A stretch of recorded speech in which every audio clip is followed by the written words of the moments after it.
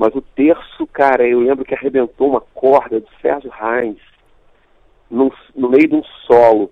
Eles pararam a música, todo mundo aplaudiu. Ele, ele trocou a corda, porque acho que não tinha nem esse negócio de hold naquela época.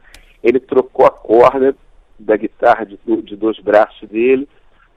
E, cara, e continuou, assim, muito, muito legal, cara. E depois, anos depois, eu fui, eu fui trabalhar com o Flávio Venturini, fui fazer um trabalho com ele, e aí ele, ele já estava indo embora, eu falei assim, hahaha, você pensa que está livre, você vai tocar tudo do terço agora comigo aqui. Aí ele falou, você conhece, você sabe tocar as músicas do terço? Eu falei, sei tocar, cara. E aí tinha uma galera mais nova no estúdio, assim, né? Mais nova que eu digo assim, é, Trilha, o Jean, entendeu? Umas pessoas, assim, amigos músicos, e, e a gente, eu comecei a tocar as músicas do terço com ele.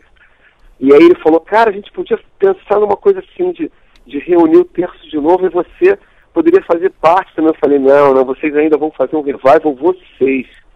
Mas aí realmente acabou, cara, porque o baterista, que era o, o Moreno, morreu, cara. Ele era maravilhoso.